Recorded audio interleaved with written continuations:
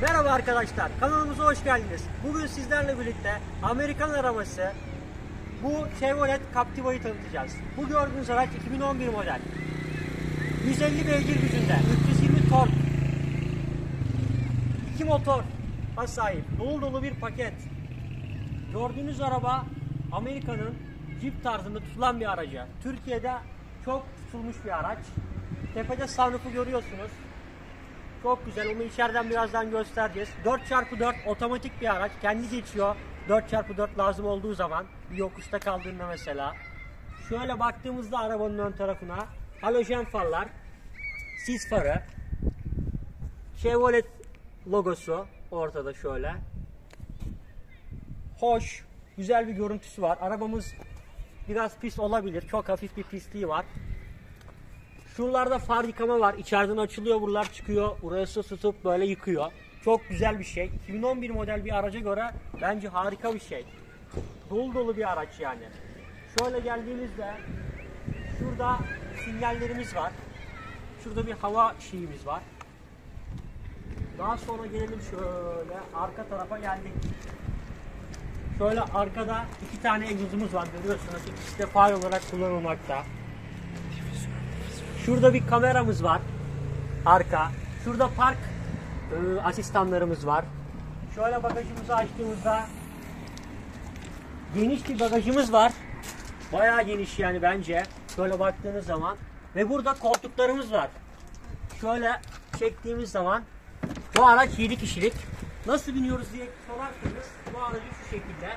Şurada ve şurada bir aletimiz var. Şöyle çekiyoruz. Araç kendi kendine burayı topluyor böyle. Buradan adam biniyor aracına. 7. kişi mesela örneğin. Bence gayet iyi bir model olmuş şurası. Şahsi fikrim. Her araçta yok. Böyle binebiliyorsunuz. Tabii önünüzdeki araç yine açılıyor. Aynı şekilde. Ah, buradan biraz açmakta zorlandık.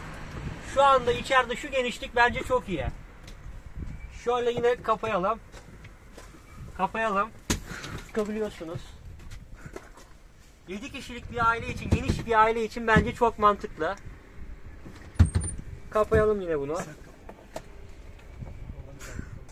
Kap şöyle tutup indirmemiz gerekiyor. Bunda çünkü şöyle basınca kendi inenlerden yok.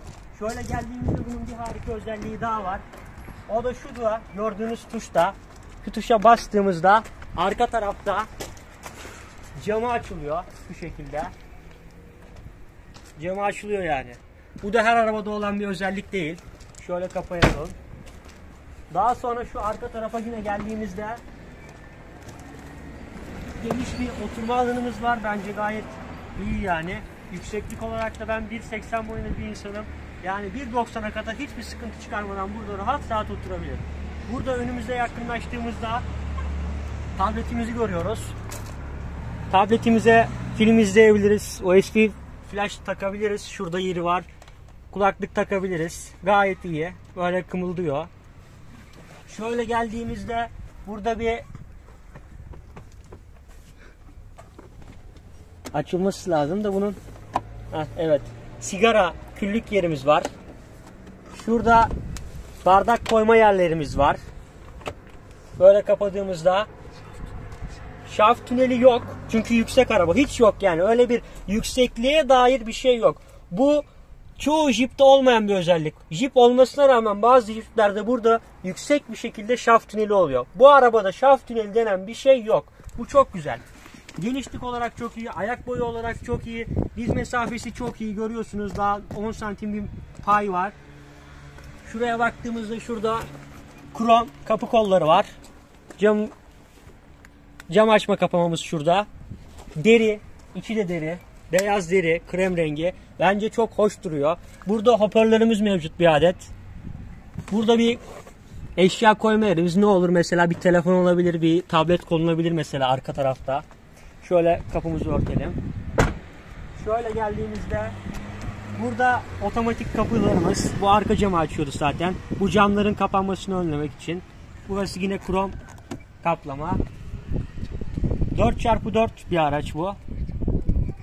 4 camlı otomatik. Şöyle geldiğimizde arabanın Direksiyonu gayet iyi bence. Ele oturuyor yani. Şöyle yakınlaşalım. Şurada dediğimiz gibi ön farlarda yıkama mevcut. Şu tuşla yıkanıyor. Daha sonra bu ayna ayarı. Sağ sol görüş açısı açısından. Şurası far şiddeti. Burası zaten işte sinyaliydi, şeyiydi her arabada olan farlar, far ayarı. Buraya geldiğimizde ses kısmı var. Açma kapama. Buralarda aynı yine TV kontrol için gerekli tuşlar var. Açma, kapama, mod değiştirme.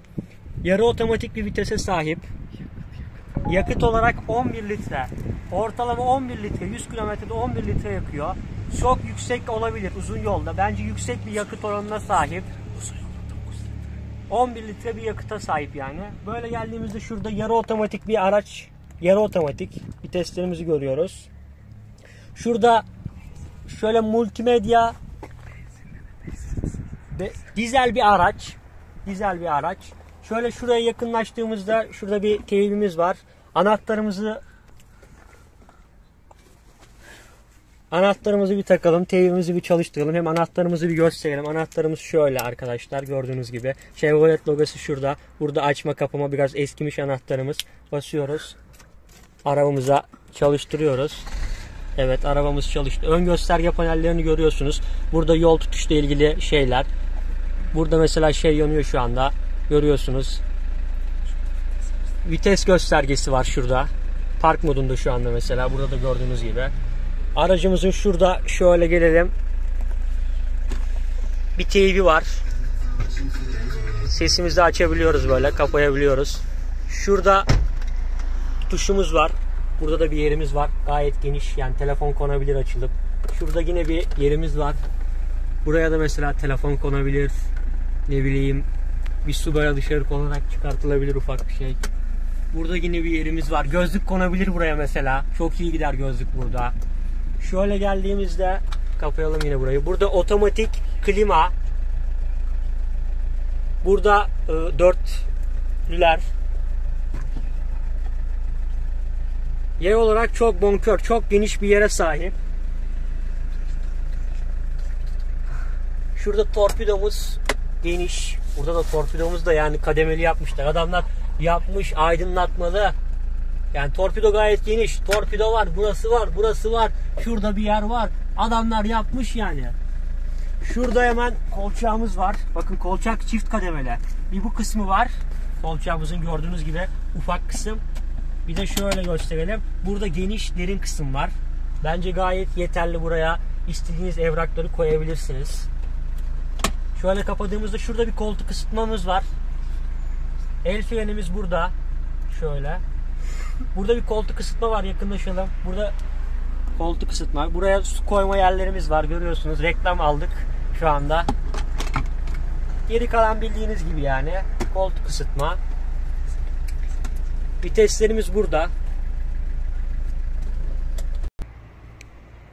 Koltuk oynatmalarımız şöyle görüyorsunuz şu anda kaldırıyor öne doğru. Şöyle mesela yatırıyor şurayı gösterelim hemen. Gayet yeterli bir şekilde bence. Otomatik olması çok artı bir yön. İnsanın hoşuna gidiyor. Şöyle daha başka gelebileceğimiz bir şey burada. Ee, en önemli kısmı unuttuk. Şurada arkadaşlar gelelim. Şöyle kapanıyor. Görüyorsunuz. Şöyle açabiliyoruz. Yani çok iyi bir şey bence.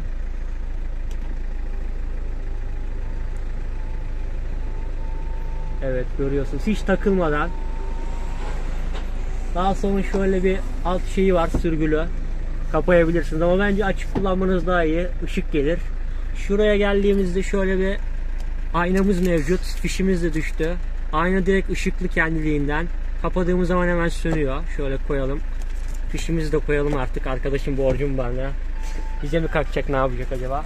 Kornamız. Yeterli bir korna. Ön panele geldiğimizde devir saatimiz, süratimiz, benzinimiz, hararetimiz, işte görüyorsunuz park sensöründeyiz şu anda. Mazotlu bir araba, dizel. Daha sonra daha fazla bir şeye gerek kalmadığını düşünüyorum ben. Double tape'imiz var burada. Açabiliyoruz sesimizi açalım. Buradan böyle e, durdurma, oynatma falan böyle. Aynen dokunmatik bir tape. Dokunmatiği gayet güzel, hoş bir yani. Buradan değiştirebiliyoruz. Hızlı algılayabiliyor. Yavaş değil yani. evet. Şimdi sürüşüne geçelim. Otomatik vites dedik ya. Merhaba arkadaşlar, hoş geldiniz yeniden. Sürüş deneyimine geçtik. O, yarı otomatik bir vitese sahip gördüğünüz gibi. Arkadaşımız başladı. Şu anda sürüş deneyimini alalım hemen. Sürüş nasıl? 2000 motora sahip. Sürekli gaz istiyor galiba. Ne Bastıkça dersiniz? gidiyor arkadaşlar Bas- araba. Yani bastıkça gidiyor ve sürekli gaz istiyor değil mi İbrahim Bey? Direksiyon nasıl? Direksiyon çok yumuşak arkadaşlar. Bir Jeep'e göre çok iyi bir Direksiyona sahip yani. Yol tutuşu nasıl tekerlerin olsun, arabanın olsun. Yolda çok güzel duruyor. Patinaj atmadığı sürece arkadaşlar. Patinaj atmadığı sürece çok güzel yani. Dönüşler biraz sarsıntılı sanki. Bana öyle geldi ya da. Araba yüksek bir araç. Yani ön tarafı hakimiyeti sağlayabiliyorsunuz. Yeterli bir yüksekliğe sahip. İki motora sahip olduğu için sürekli bir gaz istiyor sizden. Siz verdikçe istiyor, siz verdikçe istiyor. Evet. Görüyorsunuz. Direksiyon da gayet yeterli yumuşaklıkta galiba. Ben bir kötü yan bulamadım fazla ama bir tek dönüşlerde bir sıkıntı bence böyle bir sarsma yapıyor sanki. Ses olarak Arabanın derim. falan yeterli yani, görüyorsunuz. yeterli. Arabanın bası, ses sistemi çok yeterli ve yerinde. Bizi dinlediğiniz için teşekkür ederiz. Yeni videolar gelmek üzere. Abone beğeni ol, abone olup beğeni butonuna basmayı unutmayın. Sizlere teşekkür ediyoruz. Görüşmek üzere.